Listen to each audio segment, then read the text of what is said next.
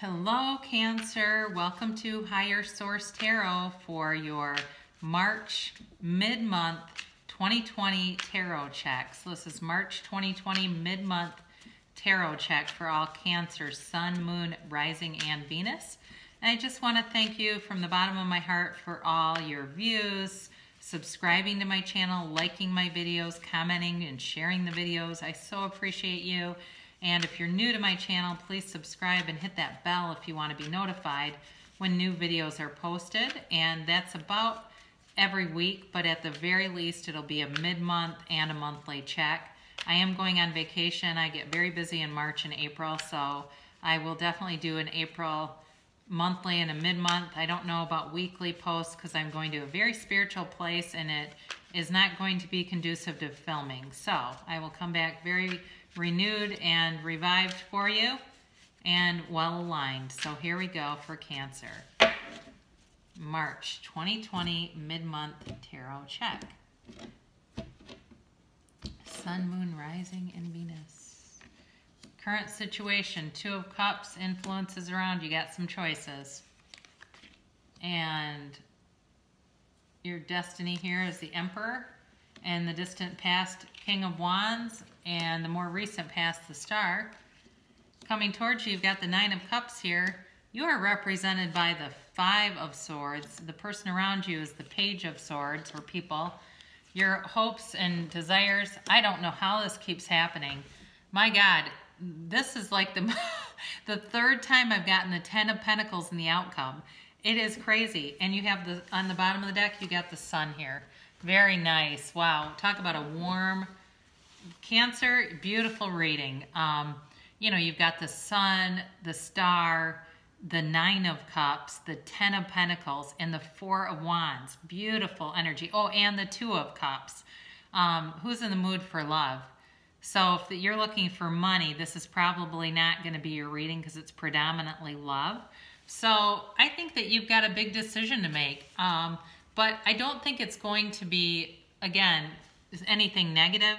You've got water here. You've got Aquarius, Leo, Earth, Fire, um, Aries. So very nice reading for you guys. So you've got a soulmate connection here coming through. And if it's not somebody you met, you're going to be meeting them and they're not going anywhere.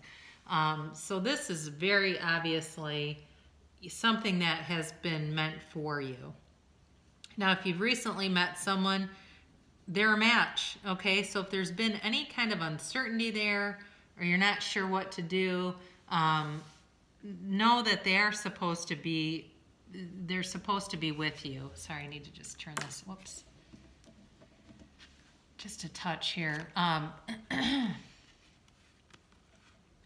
so you might feel a little bit stagnant if you have not met this person yet.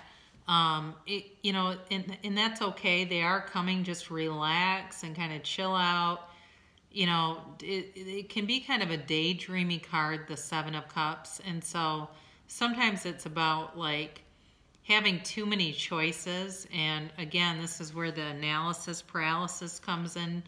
But, you know, for you, I do think you are seeing that there's there's something really like I said, like a real soulmate connection. It's like there's complete balance and order. I just wonder if you have an energy coming at you that's delivering a lot of choices or like almost like more than choices, it's almost like stuff to do in a way.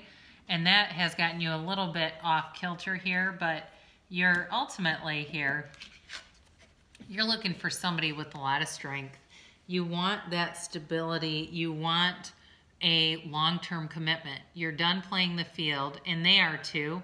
Um, you want somebody who really stands up for you and has your back. I feel like, you know, cancer is all about the family. That's a, a utmost importance to a Cancerian. It is paramount, and that's your goal. You want the strong family dynamic. You want that person who is stable and predictable and you know, they might not be the most exciting person in the world, but you have excitement coming towards you.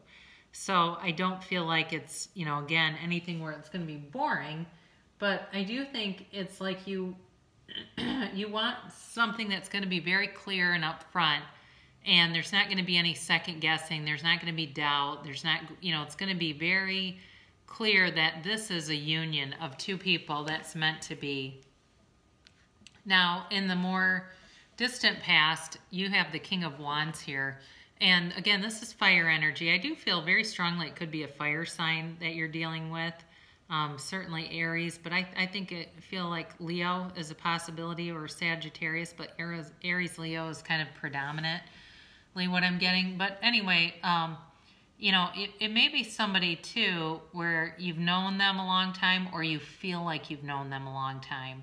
That's the other thing. It's like that sometimes can be when we know we're supposed to be together and it's a vibrational match because it feels like we've just known each other forever.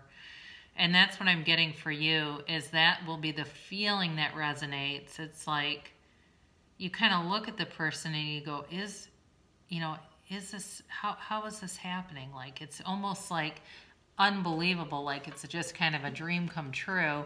And in the more recent past, you may have been taking care, very good care of yourself. Um, you know, it's possible if you completed some kind of a diet, exercise, nutritional program for some of you, that has gone very well, or you've just gotten your life more organized, orderly, so that you can be ready for this. Because that's the thing, we get brought in to us what we match. And so I see people who are very chaotic in their energy, very unsettled, restless, and kind of aggravated, wanting things to come through and not realizing they're holding it away from themselves. So the law of attraction works every single time. It will always deliver to you what you are matched to. So that's why when people say, why do bad things happen in threes? Well, why? Because they keep happening because we keep matching up with them until we finally get so sick of it that we say, my luck has to change. I can't take any more of this. And we slowly see signs of it changing and we become a match to those. So don't do that to yourself. You don't need three bad things. You need all good.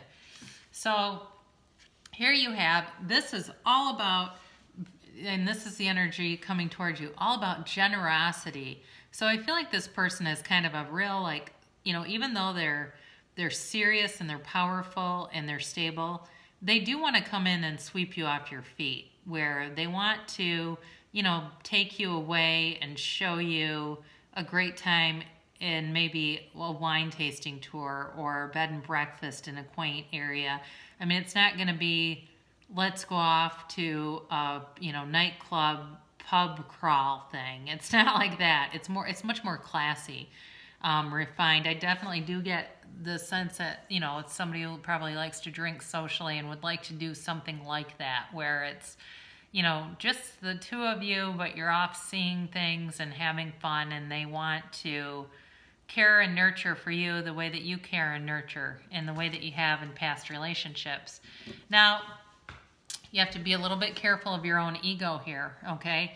I think you're guarded. I think you're um, cautious and a bit skeptical, a little bit skeptical of this. And part of it is they do, because they're a powerful energy, they, ki they kind of come in fast. And that to you is a little bit um, disarming or um, it's you feel cautious around it. Like, is this the real deal? And it is. It's the real deal here for you. So you're done fighting to, you know, with the past and people have hurt you.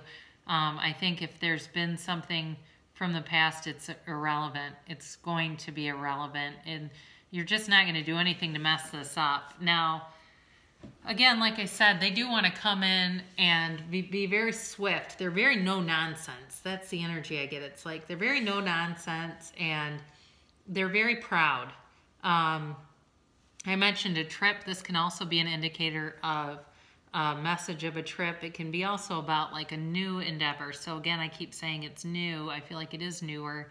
And that's where you get this, where it's somebody new, very strong, wants to take you away, will want to go places, and your hopes and fears, you've got this 1111 card. So you have, it's a marriage card, this Four of Wands, and you know, somebody wants to put a ring on it and they want it to be long lasting and it will be. You've everything indicated that um, this is a, a, card of success you have everything indicated here that it's going to be successful and long lasting. I mean, I see two people on a white horses riding off in the sunset together. And again, that can be a figurative image. It doesn't necessarily mean, or skipping down a beach holding hands. It's like, you know, do you do you want to get coffee or dinner or go see a movie for as long as we both shall live kind of energy.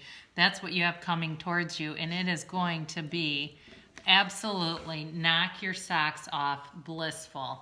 Okay? You've got the wealth card here with the Ten of Pentacles, and this is wealth for everyone. It's all about, both of them are all about harmony and comfort and complete freedom, Cancer.